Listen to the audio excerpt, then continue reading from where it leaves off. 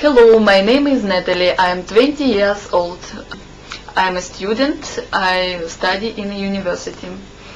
I want to meet with kind, clever, loving man. Bye bye.